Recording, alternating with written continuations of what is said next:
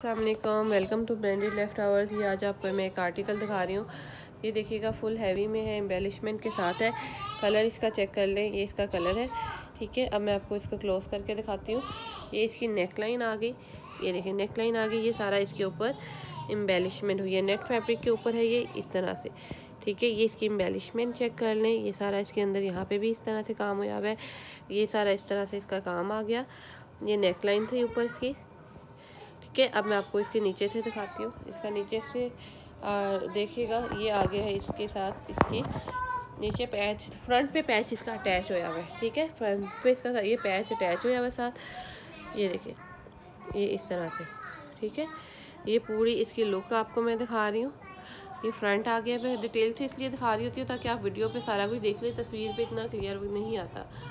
और ये अब इसके साथ बैक आपको और बैक बाजू सिंपल मिलेंगे ये वाला आपको पैच मिलेगा बाजू पे लगाने के लिए ठीक है?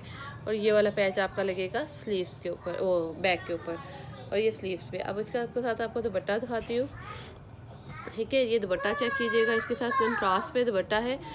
आ, अगर आपने इसको डाई भी करवाना हो तो करवा सकते हैं ये आपकी अपनी चॉइस है ठीक है? ये इसके साथ अंदर इसका दुपट्टा आएगा और ये दुपट्टे के साथ आएँगे इसके पल्लू ठीक है? ये देखें ये इस तरह से। ये इसके साथ पल्लू आएँगे, ये सारा इसके अंदर, पल्लुओं के अंदर भी ये देखिए कट वर्क हुआ है।